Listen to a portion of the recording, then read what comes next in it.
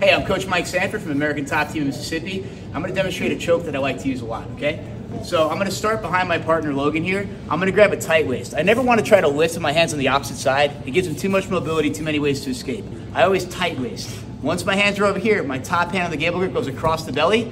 I'm gonna step around his leg and lift. This is gonna help me put him down at a good angle. So once I lift here, I'm gonna release my bottom hand and grab his collar and go into the clock choke. So I'm gonna go here, collar grip, grab the wrist.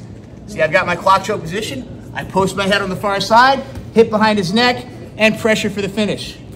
Now, if when I land here, okay, his hand is posted out and I can't grab it or it's up out of the way, I'm also gonna be able to grab his leg here. So I'll look for the leg and I'll get the exact same finish with different grips.